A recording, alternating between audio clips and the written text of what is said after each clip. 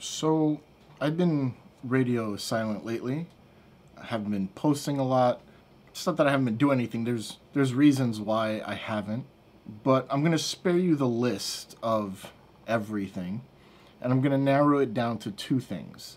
First, to be frank, I've been bored. I've been bored of the way I make videos. The videos that I was making, I wasn't happy with. I was bored with just doing tutorials. I don't know. I just felt like I wasn't enjoying it, and it's hard to do something when you're not enjoying it at all. I was just constantly unhappy with my videos, with what they were about, how I did them. They, it just seemed to be this normal pattern of just do a move and, and that was it. So I'm going to take this opportunity to try to change things up and do things a little bit differently this time around. I'm going to do videos the way I want to do them. I'm going to take some chances. I mean, you may not even like the videos the way they come out, but they're going to have a lot more work put into them, a lot more things happening in them. And honestly, I think you will like them better. They might take a little bit longer to come out than they were before. It was just like a week after week thing but I think it'll be worth it. So that was that's like the first big part, the first main part of why I really wasn't making content for a while. Now, we'll get to the second one later, but first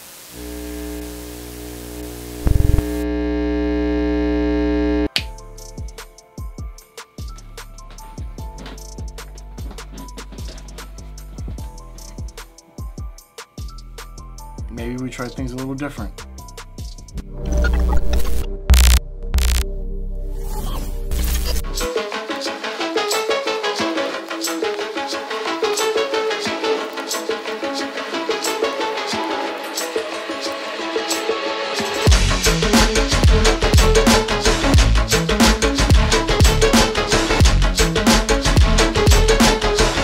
So I'm going to do a little tutorial. I'm going to show you a color change with the uh, you know, playing cards, obviously.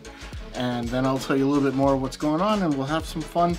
And that will be that. So we're going to go over the Classic Palm color change, which is a pretty dope color change when used at the right times and properly.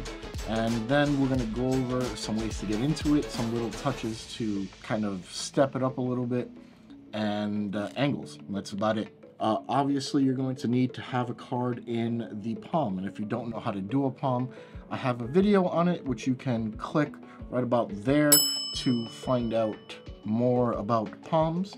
But there's a lot of different palms we can use. Uh, I'm going to use a palm from the top of the deck for now. Uh, I'm using the Joe Berg palm. And now what you're going to do is you're going to have the cards, the deck in your hand that's going to be uh, I guess making the change happen.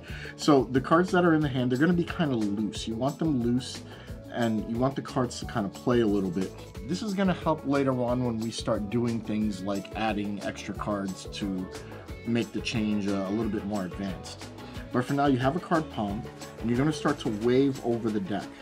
And as you wave over the deck, one of the passes down, you're going to drop the card onto the pack, right? So you're basically doing that. But because you're going to be moving your hand, this is going to align it for you. So it's like this kind of symbiont action. This hand goes up, this hand goes down, then you're going to come back and squeeze.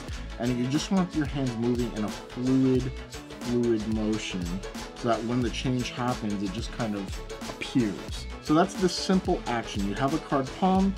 If you don't want to show the card before, you can palm the card like this. Now you show the card, you begin to wave, your hands kind of drift.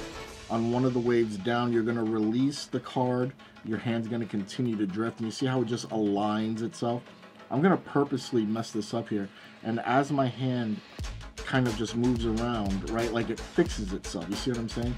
Like even if I do it up here and I move my hand around, it just fixes itself. So that's kind of important to remember when you're doing this move.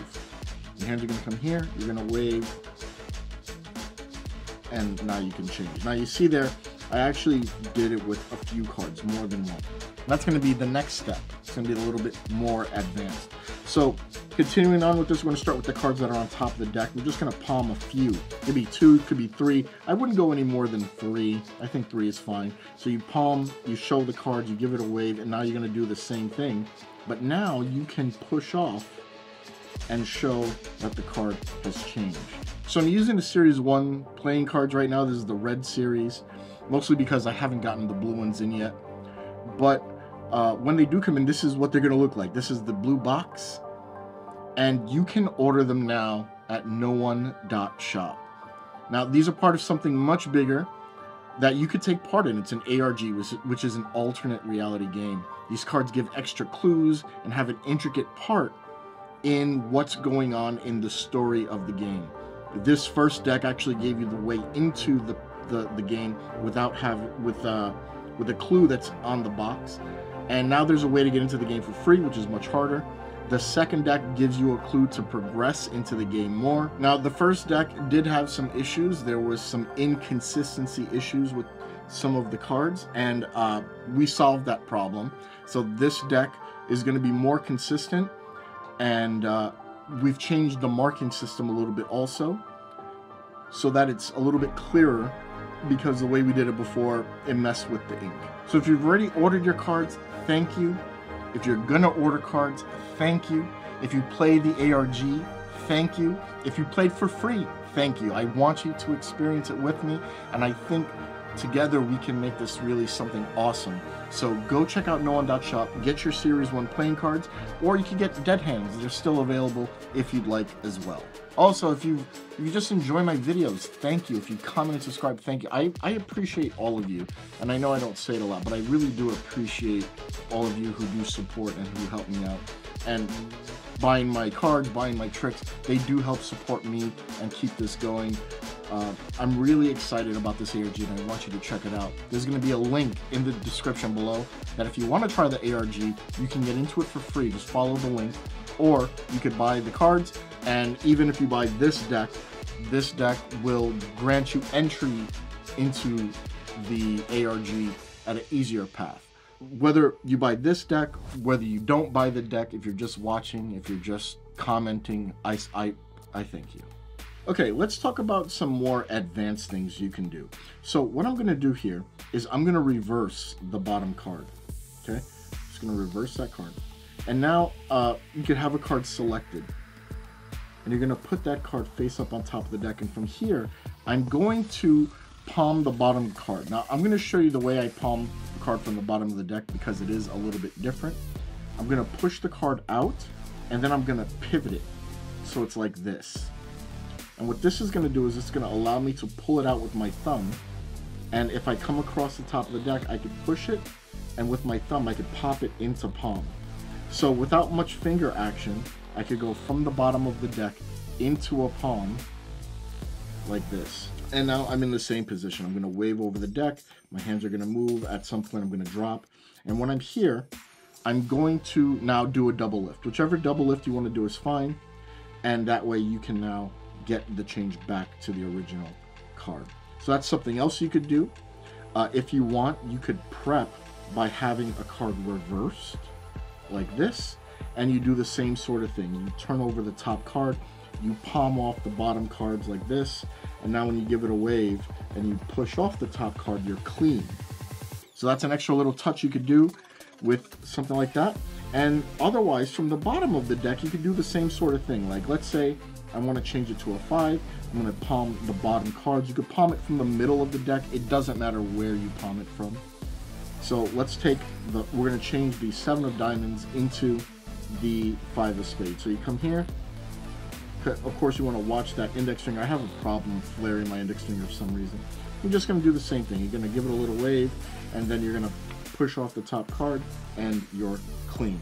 Of course, you can add more cards. So let's do three cards. So you come to here, give it a little wave, and now you could push off two if you wanted, right? And let's talk about some of the angles. Now, when you're palming, of course, that's going to be a bad angle, right? So you don't want people to look inside your hand like this. I know the camera is moving, but you don't want people to look inside your hand like that. So as long as you keep the back of your hand facing your audience, you will never flash a palm. Okay? And important things to keep in mind when you're doing this, you want to keep the, the contact points, the base of your thumb and the pinky, so that your fingers are free to uh, move. And all, all I'm doing there is this. This is the only movement that's really happening. I'm just straightening my finger just a little bit. I'm going from relaxed to there, right? So this is the difference in holding it and then not holding it. Very little movement. So even if you do this super slow and you come across super slow, you can see almost no movement in the top hand. And as long as people are looking at the back of your hand or even the front part of your hand here, they will never see the card. Look at look look at how good the angles are on this. Right about there is where I start to flash. But otherwise, I could do it right from here, right? And it still won't flash. So that's it. Go check out noone.shop, get Series 1 Blue, enjoy the ARG. We're going to do some more tutorials, and I hope you liked the way this video looked and turned out. There's going to be some more things happening in these videos because I want to start having a little more fun in my videos, and that means it's going to take some more work, which I'm excited to do. And I'll see you guys soon. I'll see you guys real soon. I appreciate all of you. Thank you.